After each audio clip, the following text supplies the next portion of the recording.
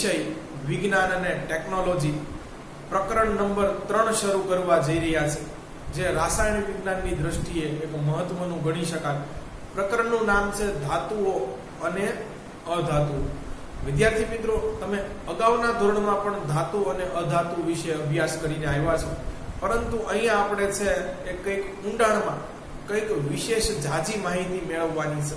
પરંતુ દરેક વખતની જેમ આપણે તો છે પાયાથી જ શરૂઆત કરવાની છે. તો આજે વિદ્યાર્થી મિત્રો છે, આપણે શીખીશું કે ધાતુ, અધાતુ અને અર્ધ ધાતુ એટલે શું? અને ધાતુ અને અધાતુના છે ભૌતિક ગુણધર્મો કે જે બોર્ડની પરીક્ષાની માટે એક મહત્વપૂર્ણ સવાલ છે, એ પણ તૈયાર કરવાનો છે.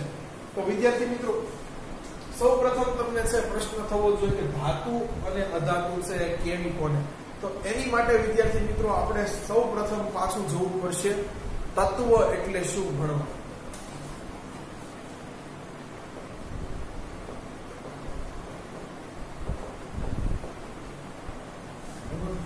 તો આપણે સૌ જાણીએ છીએ, વિદ્યાર્થી મિત્રો, કે સમગ્ર બ્રહ્માંડની અંદર છે દરેક પદાર્થ છે, એ દળ ધરાવે છે, જગ્યા છે, એ રોકે છે અને આ દરેક દરેક પદાર્થને જો તમારે વર્ગીકૃત કરવા હોય તો કા તમે એને તત્વ, કા મિશ્રણ કે કા સંયોજનની અંદર વર્ગીકૃત કરી શકો છો. વળી પાછું આપણે એ પણ જોયું કે મિશ્રણ અને સંયોજન પણ તત્વોના જ બનેલા હોય છે. તો આજે ફરીથી વિદ્યાર્થી મિત્રો, તત્વ એટલે શું? એ જોઈ લઈએ. તો કે છે, દરેક તત્વો એક સરખા પરમાણુઓનું બનેલું હોય. વાત પણ સાચી છે. યાને કે જો કોઈ તમે પદાર્થ લ્યો છો, એની અંદર છે બધાય પરમાણુઓ છે, એની ચકાસણી કરો છો. એ સરખું દળ ધરાવે છે, સરખી જગ્યા રોકે છે. ઇલેક્ટ્રોન અને પ્રોટોનની સંખ્યા પણ તમામે તમામ પરમાણુની અંદર છે, એ એક સરખી છે. તો આને તમે છે તત્વ કહી શકો.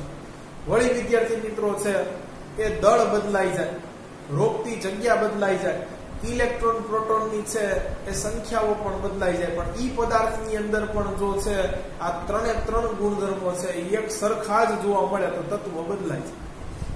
બરોબર? આપણે જાણીએ છીએ વિદ્યાર્થી તત્વો છે એ કુલ એકસો અઢાર છે.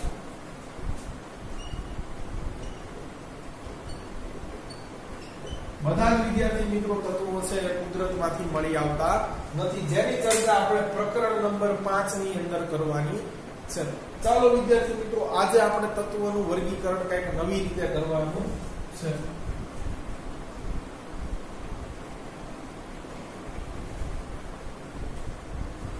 વિદ્યાર્થી મિત્રો, તત્વોને છે એ ત્રણ રીતે વર્ગીકૃત કરી શકાય છે.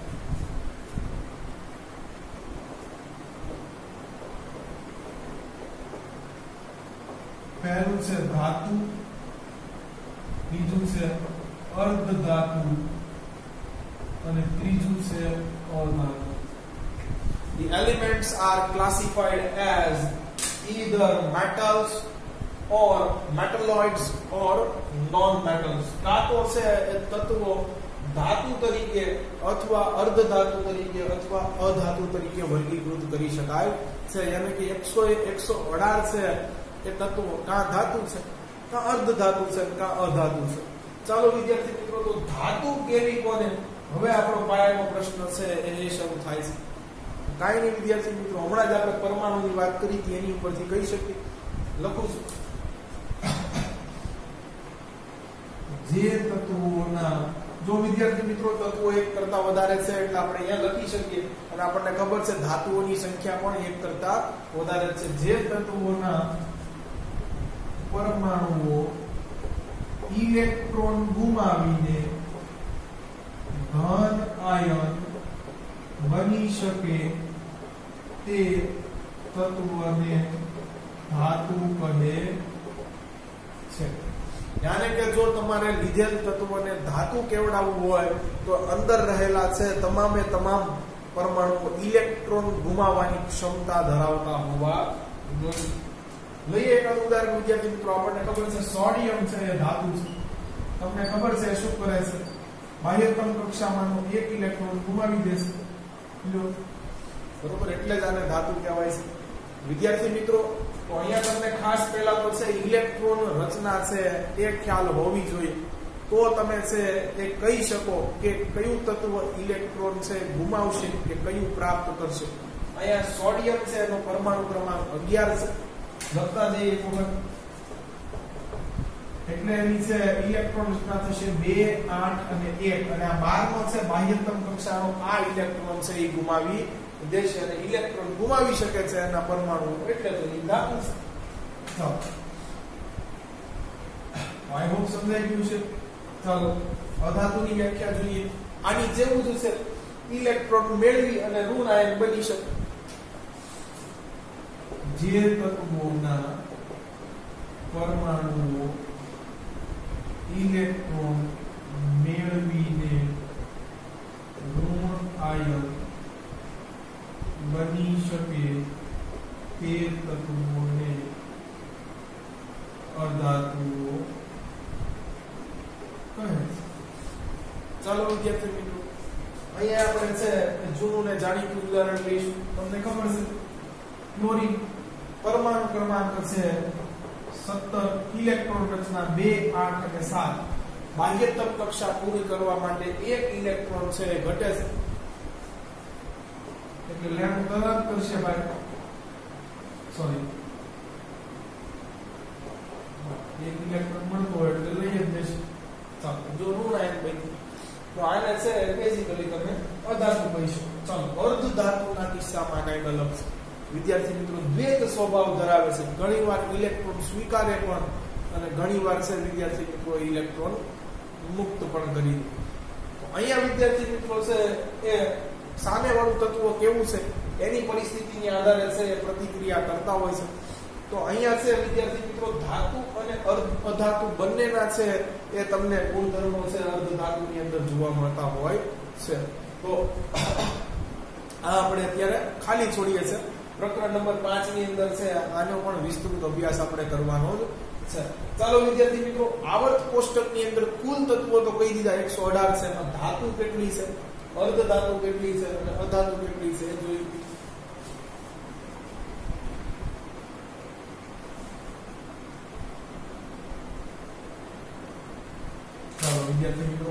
છે, આવર્ત કોષ્ટકમાં છે 118 તત્વોમાં છે 91 છે એ ધાતુ સ્વરૂપે રહેલી છે. યાને તમે કહી શકો કે આવર્ત કોષ્ટકનો મોટો એવો ભાગ ધાતુઓ જ રોકે છે. સાત અર્ધ ધાતુઓ પણ છે. વિદ્યાર્થી મિત્રો, જાણીતી અર્ધ ધાતુ છે તે તમને બે નામ જણાવી દઉં છું કે જે 11 બાર સાયન્સની અંદર તમારી માટે ખૂબ મહત્વના થવાના છે. સિલિકોન અને જર્મેનિયમ. એમાં સિલિકોન ખાસ. વિદ્યાર્થી મિત્રો, કાર્બનની પણ બાહ્યતમ કક્ષામાં જુઓ, ચાર જ ઇલેક્ટ્રોન છે. તો એ પણ ઘડીક વિચાર છે. કે ચાર આપી દઉં કે ચાર સ્વીકારું. પણ મેં તમને કીધું કે કાર્બન કિંગ ઓફ કેમેસ્ટ્રી છે. એ આપણે પ્રકરણ નંબર ચારની અંદર શીખી જશું. પાંચ પહેલા અગાઉ શીખી જશું કે શા માટે કાર્બન છે એ અર્ધ ધાતુ નથી? કારણ કે એની પાસે વેરાયટી જેવી છે. એ single vada double vada triple vada બધું કરી શકે વિદ્યાર્થી મિત્રો. એટલા માટે છે કાર્બન અર્ધ ધાતુ નથી ખાસ. બરોબર? પણ અર્ધ ધાતુ છે એની બાહ્યતમ કક્ષામાં મોટા ભાગે તમને ચાર ઇલેક્ટ્રોન જોવા મળતા હશે. બાકી તમને હવે ગણિત તો આવડે જ છે વીસ છે એ અધાતુ છે. ટોટલ મારશો એટલે કદાચ એકસો અઢાર થઈ જશે. ચાલો વિદ્યાર્થી મિત્રો, તો હજી ધાતુની તમને છે સરળ ઓળખ કરી દઉં.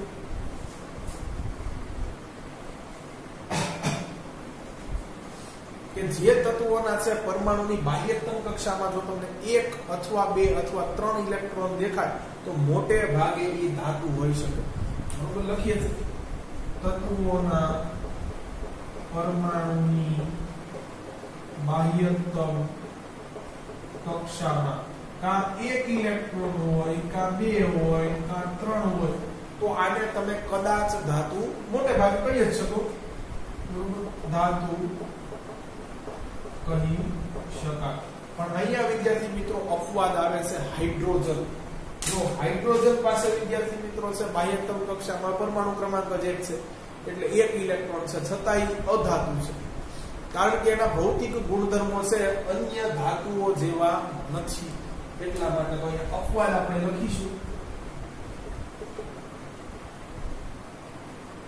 હાઇડ્રોજન એ જ રીતે વિદ્યાર્થી મિત્રો હિલિયમ હિલિયમ છે, એનો પરમાણુ ક્રમાંક બે છે. એની પાસે પણ છે, બાહ્યતમ કક્ષામાં બે ઇલેક્ટ્રોન છે, પણ છતાં પણ ઈ પણ ધાતુમાં છે નહીં. ચાલો વિદ્યાર્થી મિત્રો, અધાતુની વાત કરીએ. તો તત્વોના પરમાણુની બાહ્યતમ કક્ષામાં તત્વોના પરમાણુની બાહ્યતમ કક્ષામાં જો પાંચ ઇલેક્ટ્રોન હોય પાંચમો હોય, તો છ હોય, છ નો હોય, તો સાત ઇલેક્ટ્રોન હોય, તો તેને અધાતુ કહી શકાય. તો વિદ્યાર્થી મિત્રો, અહીંયા તમે જોશો કે ક્લોરીનનું આપણે ઉદાહરણ લીધેલું. એની બાહ્યતમ કક્ષામાં જો સાત ઇલેક્ટ્રોન હતા, બે, આઠ અને સાત, એટલે આપણે એને અધાતુ તરીકે જોયું. એ જ રીતે હમણાં સોડિયમ ઉદાહરણ લીધું હતું એની બાહ્યતમ કક્ષામાં છે, એક ઇલેક્ટ્રોન હતો. જો એને ધાતુ તરીકે આપણે જોઈએ છીએ એ જ રીતે વિદ્યાર્થી મિત્રો, અર્ધ ધાતુમાં છે એ ચાર ઇલેક્ટ્રોન બાહ્યતમ કક્ષામાં હોય છે. પણ મેં તમને કીધું એમ, અહીંયા કાર્બન છે એ અપવાદ છે. કેમ ઈ પ્રકરણ નંબર 4 આખું એને નામ જ છે?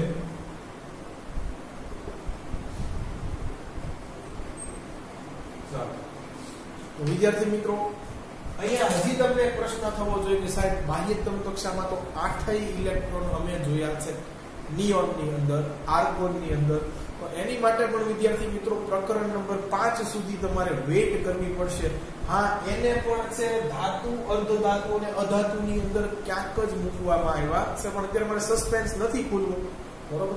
બાકી વિદ્યાર્થી મિત્રો, જો આપણે જોયું કે બધાય તત્વો છે, બરોબર, એક આ ધાતુ સ્વરૂપે હોય કે અર્ધ ધાતુ હોય, કે અધાતુ હોય. તો જો આ ઇલેક્ટ્રોન બાહ્યતમ કક્ષા આપણે 1 2 3 4 5 6 અને 7 સુધી જોઈ ગયા છે. આઠ વાળાની ચર્ચા નથી કરી તો let it suspense for some time બરોબર છે? થોડાક સમય માટે આને ગુપ્ત રાખીએ. એ ક્યાં મૂકવા એ હું તમને પછી સમજાવી દઈશ. તો જો જેની બાહ્યતમ કક્ષામાં છે એ આઠ ઇલેક્ટ્રોન છે, જેને આપણે આદર્શ વિદ્યાર્થીઓ કીધા હતા કે જે કોઈની યાર હળી ન કરે કોઈની યાર ભાગીદારી ન કરે, બસ બોર્ડ ઉપર એનું ધ્યાન હોય. એને હજી આમાં આપણે બેઠાડ્યા નથી, ક્યાંક બેઠાડશું પણ.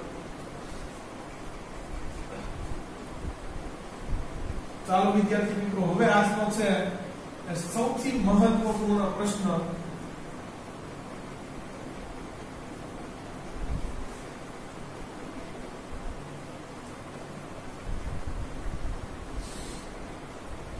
વિદ્યાર્થી મિત્રો આ પ્રશ્ન છે ત્રણ માર્ક્સની અંદર અને ચાર માર્ક્સની અંદર પણ પૂછાઈ શકે. અને અમે જ્યારે ભણતા ત્યારે વિદ્યાર્થી મિત્રો આ પ્રશ્ન પાંચ માર્ક્સની અંદર પણ પૂછાઈ ચૂક્યો છે આ પ્રશ્નને એવી કોઈ લાજ શરમ છે નહીં અને one of the most important question છે ધાતુના ભૌતિક ગુણધર્મો. પણ સાથે હું અધાતુના પણ તમને કરાવતો જોઈશ. તમે ધાતુના ભૌતિક ગુણધર્મો છે હું જેટલું લખાવું છું એ લખી નાખો છો આ બે પ્રયોગ બે ત્રણ આપ્યા છે, એ આપણે જોઈ લઈએ છે. તો તમારા અહીંયા છે એ આ માર્ક્સ કવર થઈ જશે અને માર્ક માય વર્ડ્સ આ સવાલ તમારે ક્યારેક ને ક્યારેક તો લખવો જ પડશે. એવું નથી કહેતો બોર્ડમાં પણ યુનિટ ટેસ્ટ હોય, સ્કૂલમાં કંઈક ટેસ્ટ હોય પ્રિલિમ્સ હોય, કે બોર્ડની એક્ઝામ હોય, ગમે ત્યાં છે, આ સવાલ તમારે કામનો છે, વિદ્યાર્થી મિત્રો. એટલે મોસ્ટ આઈએમપી ક્વેશ્ચન છે. ચાલો, તો હેડિંગ મારી દઈએ. ધાતુ અને અધાતુના ભૌતિક ગુણધર્મો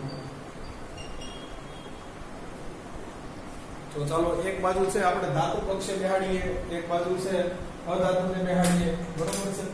ચાલો.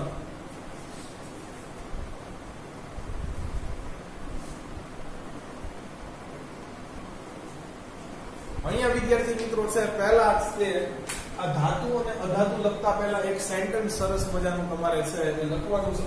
મારે કહેતા છે જે રહી ગયું. કે છે, કોઈ પણ પદાર્થનું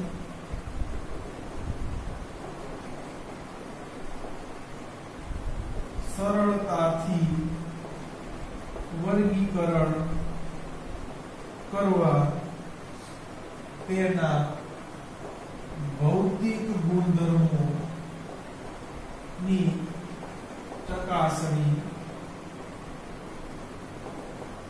કરવી જોઈએ અને વાત સાચી છે વિદ્યાર્થી મિત્રો કે જે દેખાય છે બરોબર છે જેવું અનુભવ્યું છે તમારે છે કે કાચી સામગ્રી એના વિશે છે એ લખી લેવી જોઈએ કે નોંધ કરી લેવી જોઈએ. બરોબર છે? અહીંયા આપણે કોઈ રાસાયણિક પ્રક્રિયા છે આજના લેક્ચરની અંદર જોવાની નથી. ખાલી ને ખાલી છે કે ધાતુ સામે છે, બરોબર, એ મીટ માંડી અને છે એના ગુણધર્મો કેવા છે, દેખાતા આપણને કેવા અનુભવાય છે? બસ એની જ ચર્ચા આપણે કરવાની છે. સરસ મજાની છે એ સેન્ટેન્સ લખી લેજો. તો વિદ્યાર્થી મિત્રો, પહેલું કે છે, બરોબર છે, કે ધાતુઓ છે, હવે તમને ખબર છે, પદાર્થની અવસ્થા ઘન, પ્રવાહી અને વાયુ. બરોબર છે, ધાતુઓ ઘન સ્વરૂપે હોય છે, ઠોસ હોય છે સોલિડ મટીરિયલ તો લખી ધાતુ ઘન સ્વરૂપે છે. અમે ક્યાં ના પાડી, પણ આમાં એક અપવાદ છે. બરોબર બરોબર પારો દેવદાસવાળી નહીં બરોબર છે? મર્ક્યુરી પારો છે, વિદ્યાર્થી મિત્રો, એ ઓરડાના તાપમાને પણ પ્રવાહી સ્વરૂપમાં હોય છે. એટલે બધી જ ધાતુ છે એ ઘન સ્વરૂપે હોય છે એવું ન કહી શકે વિદ્યાર્થી મિત્રો. આ એક છે, એ અપવાદ છે. ઓરડાના તાપમાને પ્રવાહી સ્વરૂપે હોય છે ચાલો. જનરલી ઓરડાનું તાપમાન એટલે વિદ્યાર્થી મિત્રો 25 ડિગ્રી સેલ્સિયસ. બરોબર? યાને કે શિયાળામાં પણ તમને છે, એ આ, એ લિક્વિડ ફોર્મમાં જોવા મળે છે. કેટલીક ધાતુઓ, વિદ્યાર્થી મિત્રો, એવી છે કે જે ઓરડાના તાપમાન કરતા તમે સેજ છે એ તાપમાન વધારી દો ને, તો તમારી હાથની અંદર પણ પીગળવા માંડે. શિયાળાની અંદર સેજ જો તડકો નીકળ્યો હોય તો ભર શિયાળે ઓગળી જાય, ઘનમાંથી પ્રવાહી થઈ જાય. એવી પણ છે અમુક નરમ છે કે ધાતુઓ છે તો આપણે એને યાદ કરી દેવી જોઈએ વિદ્યાર્થી મિત્રો કે જો રૂમ ટેમ્પરેચર કરતા થોડું તાપમાન વધારો આપણે લખશું ઓરડાના તાપમાન કરતા વધુ તો આમાં વિદ્યાર્થી મિત્રો છે આવે છે એ ગેલિયમ છે ત્રીસ ડિગ્રી સેલ્સિયસ તાપમાન બરોબર છે એટલે શિયાળામાં સેજ જો તડકો પડ્યો હોય તો આ તમારી હથેળીમાં ઓગળી જાય. બરોબર. એ જ રીતે વિદ્યાર્થી મિત્રો સીઝિયમ છે. અઠ્યાવીસ પોઈન્ટ પાંચ એ જ રીતે વિદ્યાર્થી મિત્રો ફ્રાન્સિયમ છે. સત્યાવીસ મૂંઝાવાનું નથી વિદ્યાર્થી મિત્રો. એકસો એકસો અઢાર તત્વો છે. વચ્ચેની બે શ્રેણીઓ બાદ કરતા કરવી હશે તો એ પણ પાણી કરાવી દઈશ. બરોબર છે આ બધા તમને યાદ રહી જવાના છે. અત્યારે તમારે યાદ રાખી લેવાનું છે કે સહેજ જો ભાઈ તાપમાન વધે તો આ બધે બી પડી જાય એમ છે. ચાલો આપણે લીધું ધાતુ ઘન સ્વરૂપે હોય છે. અહીંયા વિદ્યાર્થી મિત્રો, અધાતુ તે ઘન સ્વરૂપે હોય છે, પણ સાથે વાયુ સ્વરૂપે પણ હોય છે. ચાલો, અહીંયા લખ્યું અધાતુ ઘન અને વાયુ સ્વરૂપે હોય અહીંયા પણ એક અપવાદ છે, વિદ્યાર્થી મિત્રો. આ કોમ્પિટિટિવ એક્ઝામની અંદર હજારો વાર પૂછાયેલો પ્રશ્ન છે. બરોબર છે? અપવાદ અહીંયા વિદ્યાર્થી મિત્રો બ્રોમિન છે એ પ્રવાહી સ્વરૂપે હોય છે, ખાસ. બરોબર છે? આ હોય છે પ્રવાહી સ્વરૂપે. તો ધાતુ બધી છે, ઘન સ્વરૂપે હોય છે એક્સટ્રેક્ટ કોન પારો. અને છે, બધી જ અધાતુ છે, કા ઘન સ્વરૂપે હોય ને કા છે, વાયુ સ્વરૂપે હોય અને એક તમારે બ્રોમિન ને અપવાદ મૂકવાનું છે. ચાલો, તો પહેલો આપણે ગુણધર્મો જોયો. બરોબર છે? ચાલો, આગળ જોઈએ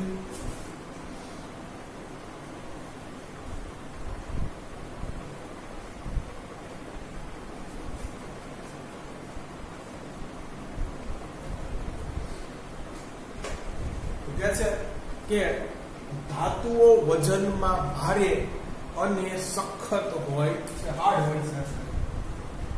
ધાતુઓ વજનમાં ભારે અને સખત હાર્ડ હોય છે. વિદ્યાર્થી મિત્રો, વજનમાં ભારે અને સખ્ત હોવાનું કારણ છે એક જ છે કે ઓછા એરિયાની અંદર તમને ખબર છે કે ઘન પદાર્થોની અંદર છે, એ પરમાણુ એકબીજાની ખૂબ નજીક નજીક છે, એ ગોઠવાયેલા હોય છે. એટલે ઓછા છે, એ કદની અંદર, ઓછા એરિયાની અંદર છે, એ વધુ પરમાણુ આવેલા હોય છે. એટલે વધુ દળ છે, એ કેન્દ્રિત થયેલું હોય છે. અને એના પરિણામ સ્વરૂપે વિદ્યાર્થી મિત્રો ધાતુ છે. પરમાણુ તમને ખબર છે, દળ ધરાવે છે. એના કારણે તમને છે, એ આ થોડી વજનમાં ભારે લાગે. અથવા સખત લાગે. કે આની ઉપર તમે ફટકા મારો તો વિદ્યાર્થી મિત્રો, આને કાંઈ અસર એટલી બધી થાય નહીં.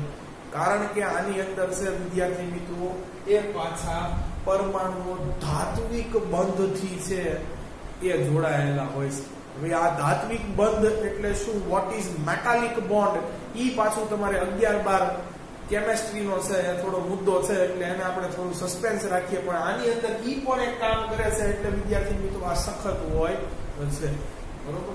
ચાલો. પણ અપવાદ આમાં પણ છે. બધી બારે હોય એવું નથી. ચાલો. અપવાદ. તો વિદ્યાર્થી મિત્રો, અહીંયા આપણને છે એ અપવાદ કીધી છે કે એલ્યુમિનિયમ પછી પોટેશિયમ, સોડિયમ, આ બધી વિદ્યાર્થી મિત્રો વજનમાં હલકી ધાતુ છે. એટલે ભારે નથી ફેલાતી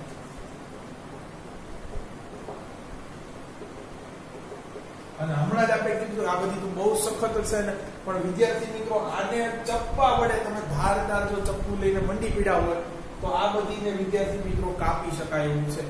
બરોબર છે. એટલે જો વિદ્યાર્થી મિત્રો, આ એટલી બધી પણ પાછી સખત છે નહીં, તો આપણે લખી નાખીએ વિદ્યાર્થી મિત્રો. પોટેશિયમ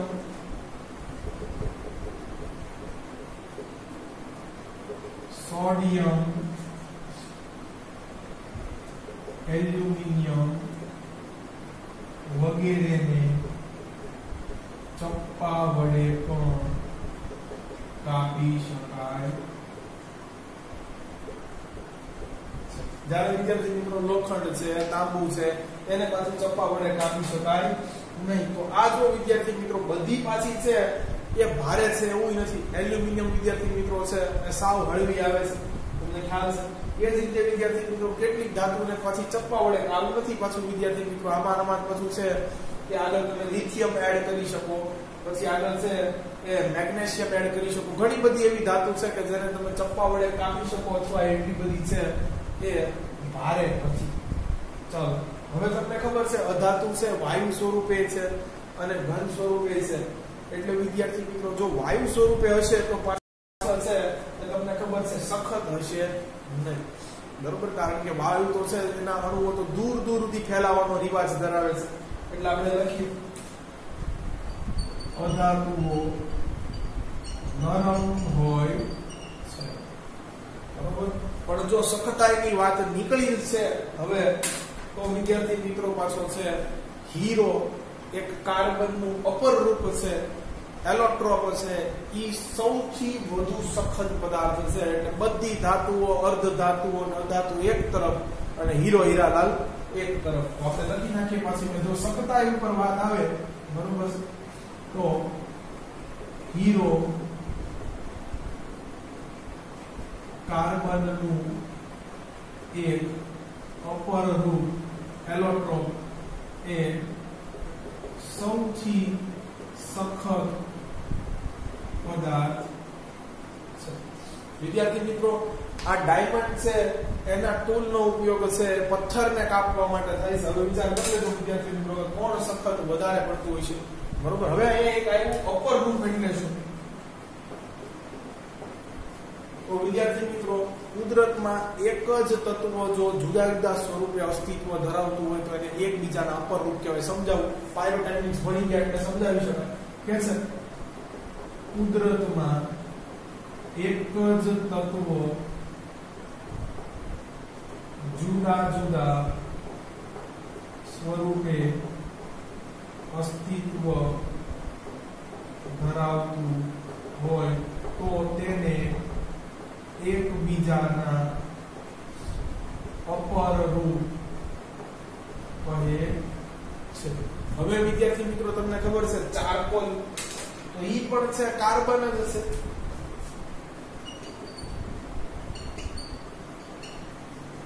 પછી તો કે હીરો હીરાલાલ, ઈ કાર્બન છે. અને વિદ્યાર્થી મિત્રો, હજી એક છે, ગ્રેફાઇટ. તમે ઓળખો છો ક્યાં ઉપયોગ થાય એનો. ઈ કાર્બન છે. તો આમાં સાચું કાર્બન કેવું કોને? વિદ્યાર્થી મિત્રો ત્રણેય કાર્બન જ છે. બરોબર? પણ આનું એક, આ ત્રણેય એકબીજાના અપર રૂપ કહેવાય. કારણ કે વિદ્યાર્થી મિત્રો, જો તત્વ એક જ છે, મા બાપ એક છે. તો તમને ખબર છે કે એક માતા પિતાને જો ત્રણ કે ચાર સંતતિ હોય તો બધાની અંદર છે એ મા બાપમાંથી જ ગુણો ગયા હોય, પણ બધાની અંદર સરખા ગયા હોય. અને આની અંદર છે વિદ્યાર્થી મિત્રો એક ગોઠવણીનો ફેર હોય છે ખાલી. અહીંયા તમે આવશો ત્યારે હું તમને સમજાવીશ કે અગાઉના આપણે પ્રકરણની અંદર વાત કરીશું. તો જો આમાં વિદ્યાર્થી મિત્રો આ હીરો હીરાલાલ લેવામાં આવે, તો એ છે કાર્બનનું એક અપર રૂપ છે. અને એ સૌથી સખત છે, આ તમારે યાદ રાખવાનું છે. એટલે બધે અપવાદ આવશે, ખાસ ધ્યાન રાખવાનું છે વિદ્યાર્થી મિત્રો. ચાલો, આગળ જોઈએ. બાકી બધી પછી અધાતુ પૂછે એ નરમ જ હોય બરોબર? અને કઈ અભિમાન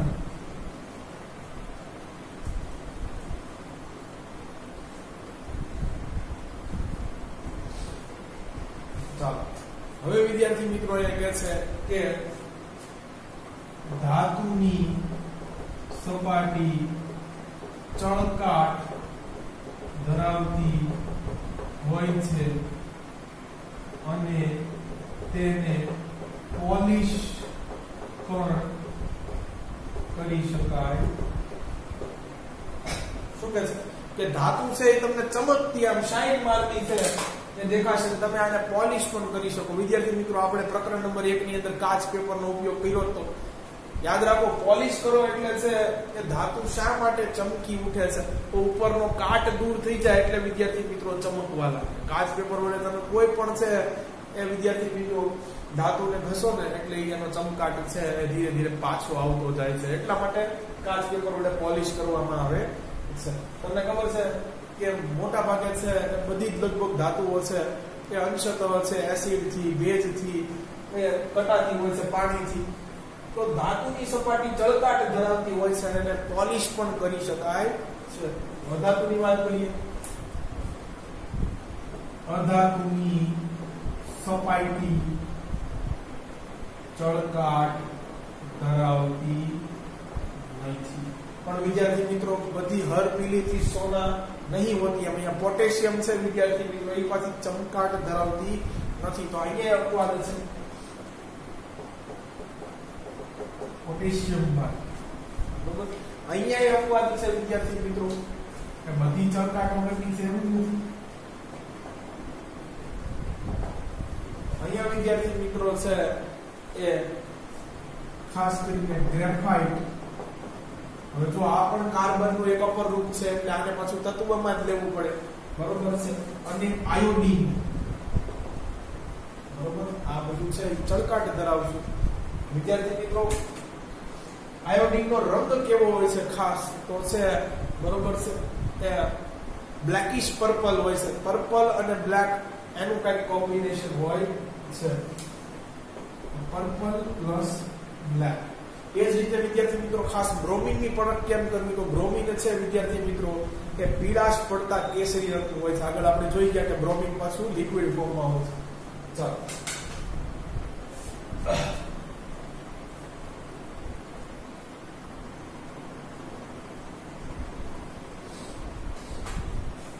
ચાલો, આગળ જોઈએ વિદ્યાર્થી મિત્રો, તો હવે છે બે મહત્વની છે એ ગુણોની ચર્ચા કરવાની છે. એક તો તન્યતા છે અને ટીપાઉપણું છે. બરોબર છે? ખાસ વિદ્યાર્થી મિત્રો, આ બે વ્યાખ્યામાંથી કરવાની છે. કે છે? કેટલીક ધાતુઓને ટીપીને તેના પતરા બનાવી શકાય છે. તેને ધાતુનું ટીપાઉપણું મેલે બિલીપી કરે છે. હવે વિદ્યાર્થી મિત્રો, તમે લોખંડના પતરા જોયા હશે. એ જ રીતે વિદ્યાર્થી મિત્રો છે, અહીંયા પતરાનો મતલબ છે પાતળી વરખ થાય છે ખરેખર. બરોબર છે? પતરા એટલે તમે એવું જાડું પતરું છે, બરોબર? તમારે છાપરે હોય. એવું નથી ગણવાનું એ વિદ્યાર્થી મિત્રો. તમે જો કાજુ કતરી ઉપર પણ છે, કંઈક તમને વરખ છે, જોવા મળતી હોય છે, તો એ પણ એક શીટ છે. બરોબર? એ પણ વિદ્યાર્થી મિત્રો છે, એક પતરું જ છે. અને સૌથી વધુ વિદ્યાર્થી મિત્રો ટીપાવ ઉપાડવું હોય, જો ટૂટા વગર ટીપી શકાતું હોય તો એ સોનું છે. બરોબર છે? સોનાનું ટીપાવ પણ સૌથી વધારે હોય છે વિદ્યાર્થી મિત્રો, તમે સોના છે એ zero point zero zero zero zero zero zero zero બે મીટર જાડાઈ વાળી પણ શીટ બનાવી શકો છો. એક મીટર જાડાઈ લેવાની વિદ્યાર્થી મિત્રો, એનો અટલામો ભાગ કરવાનો છે. બરોબર છે? એટલે તમે સમજી જશો. આવડી તમે શીટ એની બનાવી શકો છો. એટલા જ માટે રુદ્રપોળે વિદ્યાર્થી મિત્રો છે, સોનાની વરખ ઉપર પ્રયોગ કર્યો હતો બરોબર? એવું નથી. ચાંદીની પણ વિદ્યાર્થી મિત્રો છે, એ ટીપા ઉપર ઉત્તમ ગણાય છે. એટલે જ છે એને મીઠાઈઓ એની ઉપરના છે વરખમાં ઉપયોગ કરવામાં આવે છે. વૈજ્ઞાનિક કારણ અહીંયાથી પૂછી શકે કદાચ. તો આ તમે લગતા આવડવું જોઈએ વિદ્યાર્થી મિત્રો. બરોબર? એવું નથી વિદ્યાર્થી મિત્રો, કેટલીક મીઠાઈઓની અંદર છે, એ સોનાનું વરખ પણ આવતું હોય છે. અહીંયા આપણે છે, બરોબર? સોનાની સૌથી વધારે છે, ચાંદી બીજા નંબરે છે. બરોબર? પછી વગર સર તમે જાણો છો, લોખંડના પતરા બને છે. ચાલો, તો અહીંયા પહેલા ચોખ્ખું લખી નાખવાનું ભાઈ. અધાતુને છે ટીપિંગ ના પતરા નો બનાવી શકો. બરોબર છે, એટલે અધાતુને ટીપીને પૈત્રા ના બનાવી ચાલો.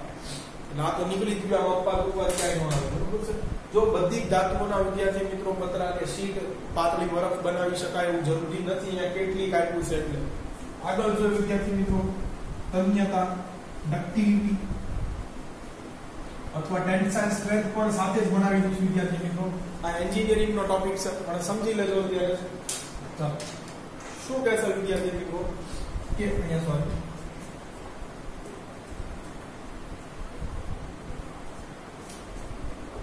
કેટલીક ધાતુને ખેંચીને તેના તાર પણ બનાવી શકાય છે. તેને ધાતુની તન્યતા કહે છે.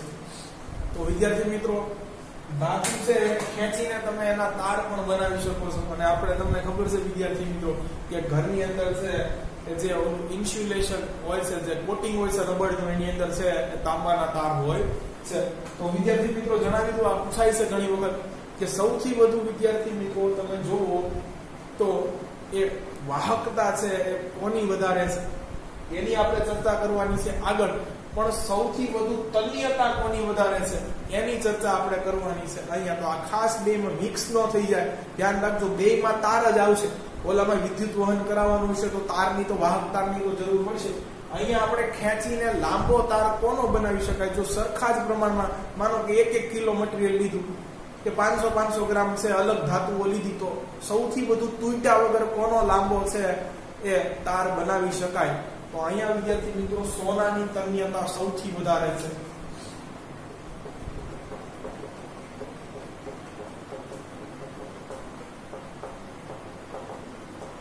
બરોબર? એક ગ્રામ વિદ્યાર્થી મિત્રો તમે સોનું લીધું હોય ને, તો તમને એના ઉપર ભરોસો આવી જાય, બરોબર? આમ તો સોનું ઉપર ભરોસો નથી હોતો.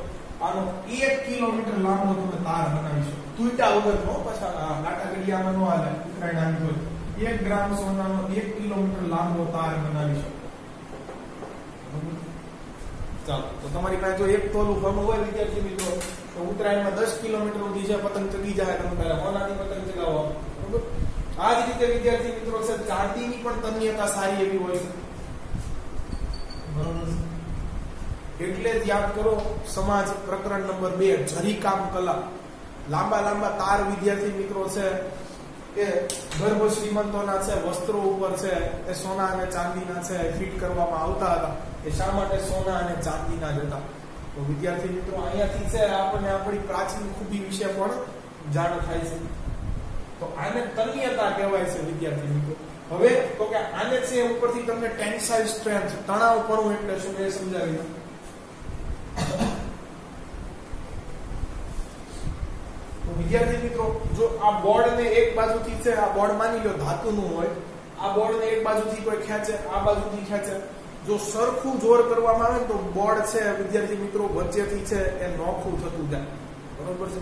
આ વચ્ચેથી છે, તૂટવાનું બ્રેક થવાનું શરૂ થઈ જાય. બસ એ બ્રેક થવાનું જ્યાં શરૂ થાય ને વિદ્યાર્થી મિત્રો, એ લિમિટને આની ટેન્સાઇલ સ્ટ્રેન્થ કહેવાય. કે ત્યાં સુધી તમે પ્રેમથી ખેંચી શકો, હવે તૂટી જાય. એમ વિદ્યાર્થી મિત્રો, જો તમે એક ગ્રામ સોનું લીધું હોય તો લગભગ એક કિલોમીટર લાંબો તાર, પછી તમે એમાં એમ કહો કે આના પાંચ કિલોમીટર કરી નાખો ન થાય, તાર તૂટી જાય.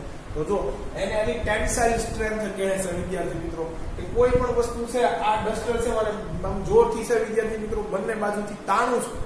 એક ટાઈમ એવો આવશે કે મારું બળ એટલું છે કે આ ડસ્ટર વચ્ચેથી ગમે આથી છે, તૂટશે. બરોબર છે આનો નબળો ભાગ હશે અહીંયાથી. બરોબર છે? પણ એ જે તૂટવાની લિમિટ છે એને એનું છે, વિદ્યાર્થી મિત્રો, એ તણાવ પણ કહીએ છે, એને છે ટેન્સાઇલ સ્ટ્રેન્થ કહેવાય છે. તો વિદ્યાર્થી મિત્રો, આ તણાવપણાને છે, અંગ્રેજીમાં જે તન્યતા આપણે કીધું એને ડક્ટિલિટી કહેવાય છે, ખાસ. તો ધાતુ છે, એને ખેંચીને એના લાંબા તાર બનાવી શકાય. અહીંયા એવું કાંઈ ન થાય. અધાતુના તાર ના, મને ટૂંકમાં બતાવ્યું બરોબર છે? કેમ? તો કે આ છે એ બરડ છે. ચોકને ખેંચી ન કા વિદ્યાર્થી મિત્રો જો. બરોબર છે? એ બરડ છે, બટકી જાય. બરોબર છે? કારણ કે અધાતુઓ બરડ છે. બરોબર છે? ચાલો સહેજ બળ આપો તો બટકી જાય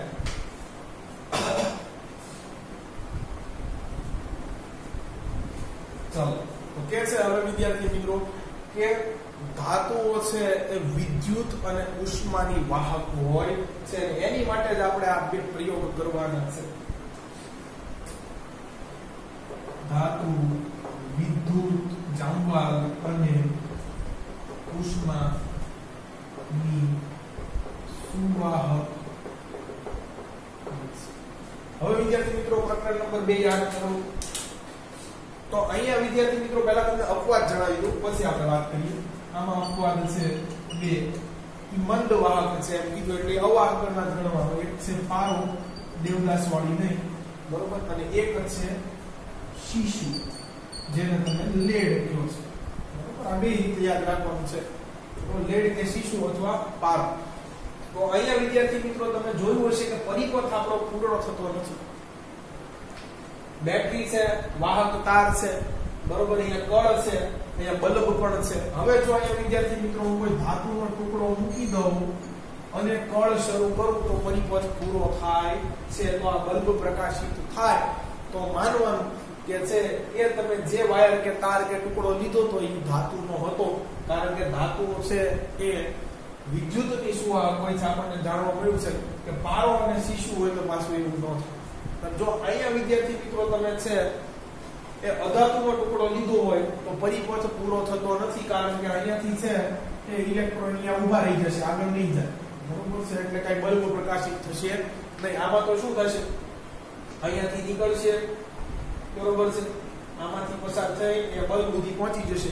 કારણ કે આ સુવાહક છે, વહન થવા દેશે ઇલેક્ટ્રોન બરોબર છે?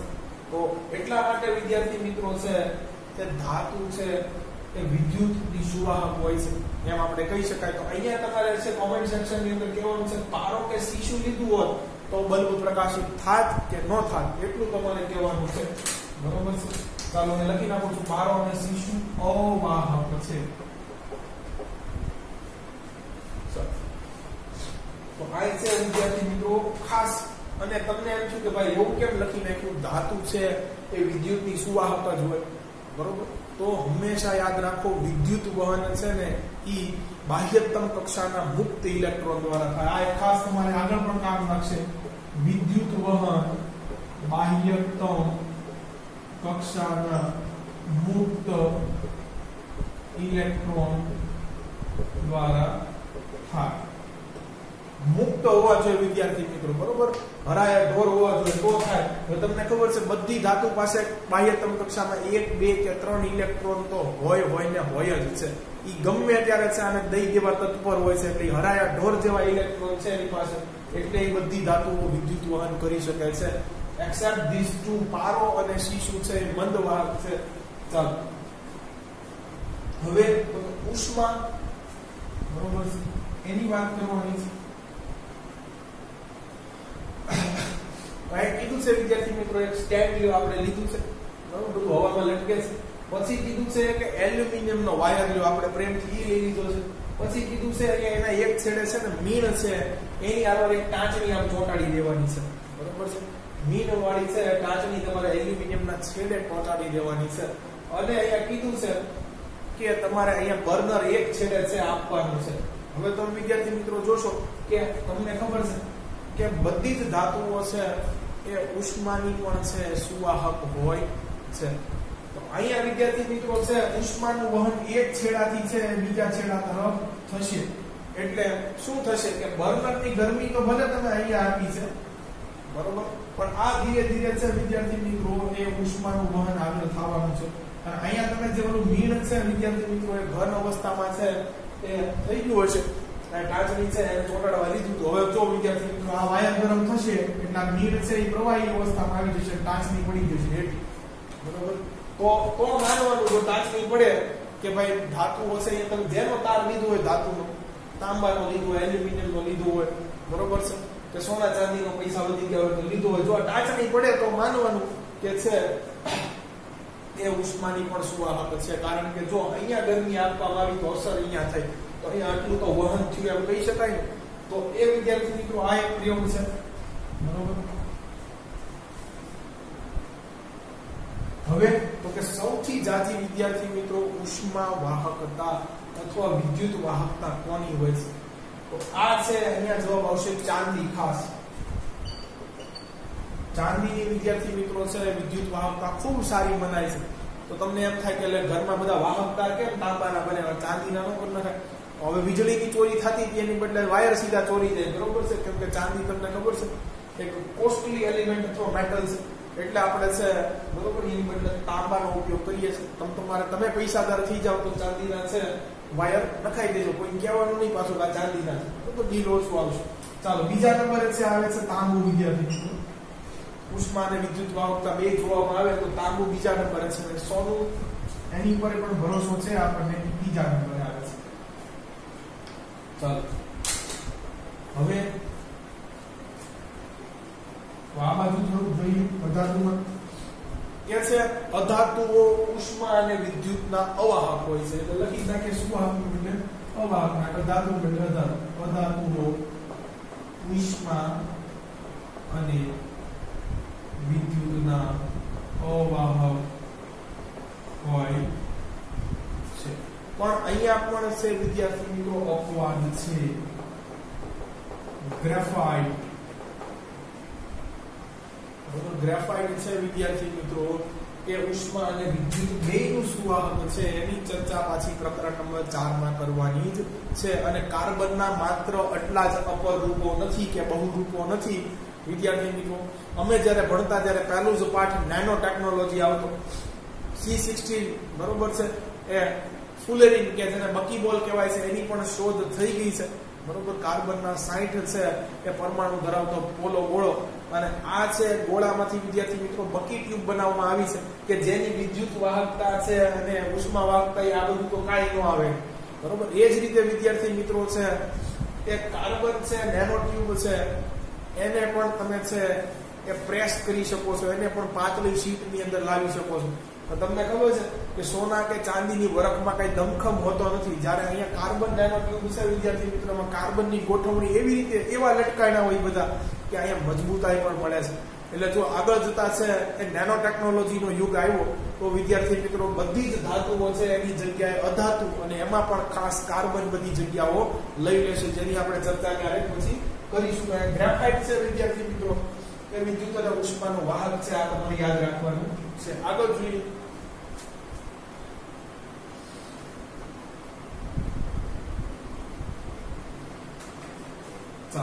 તો વિદ્યાર્થી મિત્રો આગળ કે છે કે ધાતુને અફળાવતા રણકાર ઉત્પન્ન કરે છે. કે છે, જો ધાતુ ભટકાડવામાં આવ્યો હોય તો ઘરે છાલ્યા ઉજા હોય એવી ફિલિંગ આવે. બરોબર છે? તો ધાતુ ધાતુ ભટકાડો એટલા માટે વિદ્યાર્થી મિત્રો રામાયણ અને મહાભારતમાં તમે જોજો, ડીશુમ ડીશુમ અવાજ આવતો હોય છે. બરોબર? મંદિરમાં પણ છે, એ તમને ખબર છે કે ઘંટ વાગતા એક પ્રકારનો છે, રણકાર. સોનો સીધી ઉત્પન્ન થાય છે. તો આ છે ધાતુ સોનો રસ હોય છે. બરોબર છે? એ રણકાર ઉત્પન્ન કરે છે એક મધુર અવાજ ઉત્પન્ન કરે છે ચાલો અધાતુ છે એ અફળાવતા રણકાર ઉત્પન્ન કરતી નથી આ એક છે ઈઝી છે ચાલો, આગળ જોઈએ વિદ્યાર્થી મિત્રો કે ધાતુના ગલન બિંદુ અને ઉત્કલન બિંદુ ઊંચા હોય છે. શા માટે એવું જણાવ કહું છું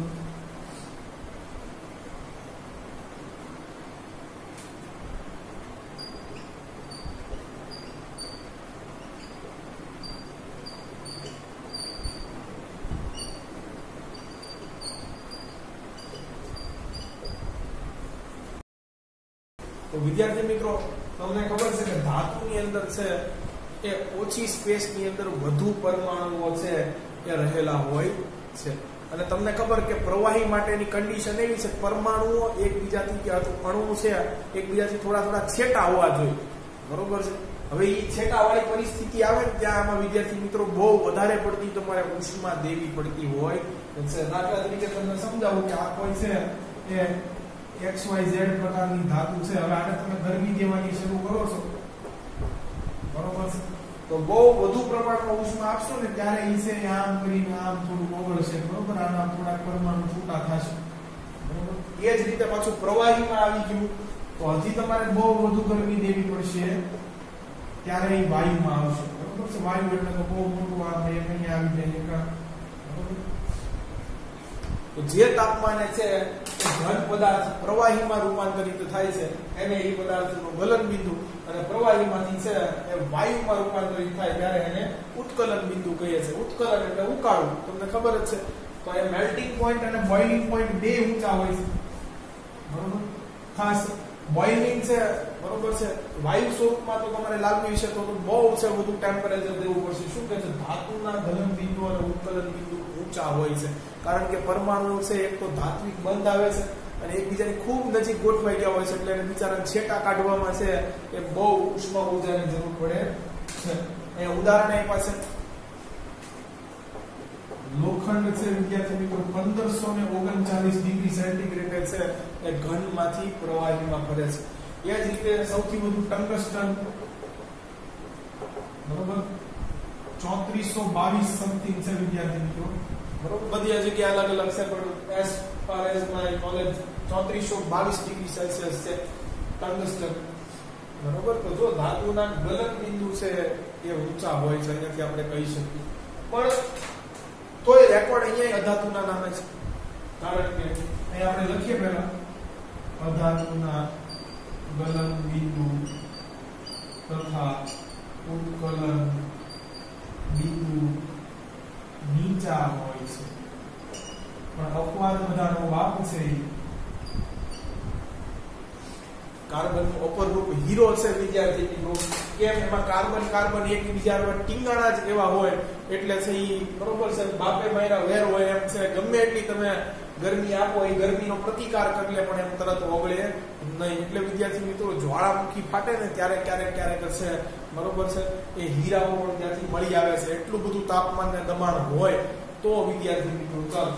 તો અહીંયા છે હીરાનું તાપમાન. અંદાજી ચાર હજાર ડિગ્રી સેલ્સિયસ. એમ પણ અહીંયા વિદ્યાર્થી મિત્રો ગ્રેફાઇટનું તાપમાન પણ ઊંચું હોય છે.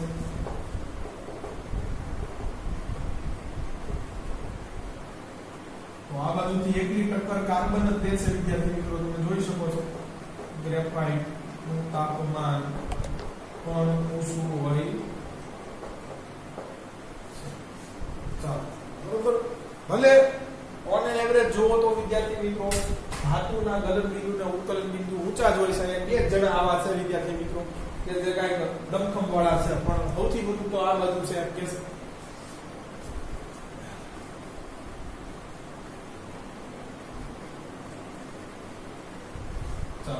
હવે વિદ્યાર્થી મિત્રો, એક સરસ મજાનો ગુણ ધાતુ પાસે છે. પાછો વળી પાછો અધાતુ પાસે નથી. બરાબર? બે કે તેથી વધુ ધાતુઓ ચોક્કસ પ્રમાણમાં મિશ્ર કરીને જુદા જ ગુણધર્મો ધરાવતી મિશ્ર ધાતુ બનાવી શકાય છે. કે પાછી જો ધાતુ અને ધાતુમાંથી મિશ્ર ધાતુ વિદ્યાર્થી મિત્રો અર્ધ ધાતુ અને મિશ્ર ધાતુ એક નથી. ખાસ પહેલા આ નીચે લખી નાખજો. અર્ધા ને ઈ ખબર હોતી. અર્ધ ધાતુ ઇઝ નોટ ઇક્વલ ટુ મિશ્ર ધાતુ. બરોબર? આ એક ખાસ ધ્યાન રાખવાનું વિદ્યાર્થી મિત્રો. આ બે એક નથી પહેલા. બરોબર છે? બે કે તેથી વધુ ધાતુઓ ચોક્કસ પ્રમાણમાં મિશ્ર થઈ જુદા જ ગુણધર્મો ધરાવતી મિશ્ર ધાતુ ઉદાહરણ વિદ્યાર્થી મિત્રો સમાજની અંદર પણ બહુ કામ લાગશે. કોપર અને ઝીંક બરોબર? આ બેને જો ચોક્કસ પ્રમાણમાં ભેગા કરવામાં આવે વિદ્યાર્થી મિત્રો, તો અહીંયા છે તે તમને મળશે. પિત્તળ જેને આપણે બ્રાસ કહીએ એ જ રીતે વિદ્યાર્થી મિત્રો કોપર અને ટીમ ને ભેગું કરો, તો બ્રોન્ઝ કાંસુ મળે છે. બ્રોન્ઝ મેડલ છે, કાંસ્ય પદક મળે છે. એ વિદ્યાર્થી મિત્રો આપણને ખબર છે કોપર છે કટાય છે. પણ છે, પિત્તળ કટાતું નથી. એટલે અહીંયા છે, એ એક બેનિફિટ છે નવો ગુણ અંદર એડ થઈ ગયો વિદ્યાર્થી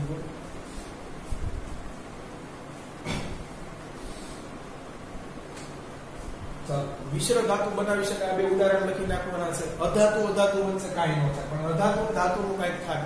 બરોબર? લખીએ. ધાતુમાં કેટલી અધાતુ મેળવીને પણ મિશ્ર ધાતુ બનાવી શકાય છે.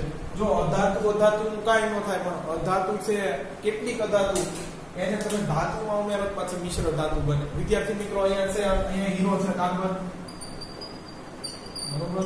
એને તમે લોખંડમાં હાવ ચપટીક જ ઉમેરવાનું છે, વિદ્યાર્થી મિત્રો.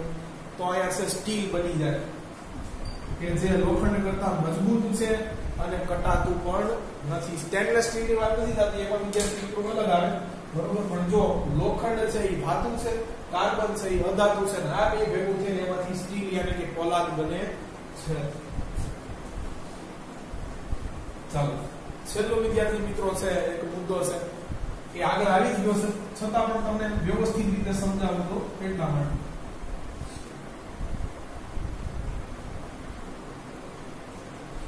તો વિદ્યાર્થી મિત્રો કે છે, ધાતુની છે એ ઘનતા પણ વધારે હોય છે. આ વિજ્ઞાન માટે મહત્વપૂર્ણ છે એટલે કહું છું તમને વોટ ઇઝ ડેન્સિટી ધાતુની ઘનત્વ અથવા ઘનતા વધારે હોય. અહીંયા લખી નાખું. પદાર્થનું ઘનત્વ કે ઘનતા ઓછી હોય હવે વિદ્યાર્થી મિત્રો, તમે ક્યારે છે એ થર્મોકોલ છે, એનું બોક્સ ઉંચક્યું હોય છે અને એટલું જ કદ ધરાવતું જો તમે લોખંડ ઉંચકવા જશો, તો કદાચ તમારાથી નહીં ઉંચકી શકાય. બરોબર? અનલેસ યુ આર સુપરમેન તો વિદ્યાર્થી મિત્રો, આવું શા માટે? બંને જગ્યા તો સરખી જ રોકે છે તો શા માટે એકનું ઘનત્વ વધારે એકનું ઓછું? પછી તમને પૃથ્વી અને ગુરુ ગ્રહની પણ અહીંયા વાત કરું. એવી રીતે વિદ્યાર્થી મિત્રો જોશો તો ફૂટબોલ રમતી વખતે કોઈ હેલ્મેટ કે બરોબર થાઈ પેડ કે પેડ કે એવું કાંઈ ઉપયોગ નથી કરતું. જ્યારે ક્રિકેટમાં નાનો એવો અવડો ચપટી કેવો દડો હોય તો એ બધા હેલ્મેટ ને કેટલું પહેરીને આવશે. તો વિદ્યાર્થી મિત્રો અહીંયા છે, આવે છે ઘનત્વ કે ભલે આમાં કદ છે, ક્રિકેટની બોલની અંદર છે, એ નાનું છે, પણ દળ વધુ અંદર ભરેલું છે. ઓલા ફૂટબોલમાં ભલે છે દડો બહુ મોટો છે કદ ભલે બહુ મોટું હોય, પણ અંદર અવાજ ભરેલી, બીજું કાંઈ નથી. એટલે એનું દળ ઓછું તો ઘનત્વ ઓછું. બરોબર? એમ ધાતુ છે વિદ્યાર્થી મિત્રો, એનું ઘનત્વ ખૂબ વધારે હોય છે. એટલે તમે જો સરખા ટુકડા બે લ્યો કદમાં, બરોબર? તો અધાતુ લેશો અને ધાતુ લેશો તો ધાતુ તમને વધુ વજનદાર લાગશે. બરોબર છે? કારણ કે ઘનતા છે ડેન્સિટી એનો ફોર્મ્યુલા આવું છે, દળના છેદમાં કદ. હવે કદ તો તમે બેયનું હરખું લઈને બેઠા છો. પણ દળ કોનામાં જાજુ છે એની ઘનતા જાજુ. બરોબર? તો ધાતુ છે એનું ઘનત્વ વધારે હોય છે. વિદ્યાર્થી મિત્રો, ગુરુ ગ્રહ પૃથ્વી કરતા ચૌદસો ગણો મોટો છે. વિચાર કરો. છતાં પણ છે, પૃથ્વી છે, એને ખસેડવી હોય તો વધુ બળ લાગે. ગુરુને ખસેડવું હોય તો ઓછું બળ લાગે, કારણ કે પૃથ્વીનું દળ વધારે છે. બરોબર છે? ઓલો ફુગા જેવો છે. વિદ્યાર્થી મિત્રો, ફુગો જગ્યા ભલે જાજી રોકે બરોબર? પણ એના વજનમાં કે એના દળમાં કાંઈ લઈ લેવાનું હોતું નથી. એમ અહીંયા હોય છે. ધાતુનું ઘનત્વ કે ઘનતા વધારે હોય છે. અધાતુનું ઘનત્વ કે ઘનતા ઓછી હોય છે. ઘનતાનું સૂત્ર આ છે, દળના છેદમાં કદ. એટલે ઓછી જગ્યામાં જો તમે વધુ દળ નાખી દો, ઓછી જગ્યામાં જો તમે વધુ પરમાણુઓ ગોઠવી દો, તો એનું દળ ડેફિનેટલી વધારે છે. અને અહીંયાથી બે સવાલો નીકળે છે ખાસ. સૌથી ભારે, જો હવે ભારે એનો મતલબ શું છે કે બધી ધાતુ લ્યો પધાતુ લ્યો તો એક એક ગ્રામ જ લેવાની અથવા એક એક કિલો જ લેવાની. પણ એમાં એનું દળ કોનું વધારે છે? તો સૌથી ભારે અથવા સૌથી વધુ ઘનત્વ ધરાવતી ધાતુ કીધું તમને? ઘનત્વ કે ભારે થાય તો? આ પૂછાઈ ગયેલો પ્રશ્ન છે ઓસ્મિયમ છે. આવશે.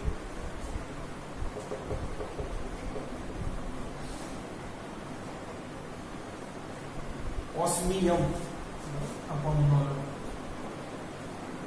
અને સૌથી જો ધાતુ કીધું છે વિદ્યાર્થી મિત્રો બરોબર તત્વ નથી કીધું અહીંયા ખાસ તમે સમજવાનું અને સૌથી વધુ સૌથી ઓછું સોરી ઘનત્વ કે ભાર ધરાવતી ધાતુ. તો આ લિથિયમ છે. કારણ કે હાઇડ્રોજન અને હિલિયમ તમને બે ખબર છે કે એ છે, એ ધાતુ નથી. વિદ્યાર્થી મિત્રો મહાન ટેનિસ સ્ટાર રોજર ફેડર છે એ લિથિયમની લગભગ સત્તર કે વીસ ગ્રામની ઘડિયાળ પહેરે છે. બરોબર? જે છે, એ સાવ હળવી છે કારણ કે એમાં લિથિયમનો યુઝ થયેલો છે. આ બાજુ જો સૌથી છે હળવું તત્વ કે વિદ્યાર્થી મિત્રો, હળવું તત્વ એમાં ધાતુ અર્ધ ધાતુ ને અધાતુ બધું આવી જાય તો હાઇડ્રોજન આવશે. ખાસ ધાતુ જોવાનું પહેલું.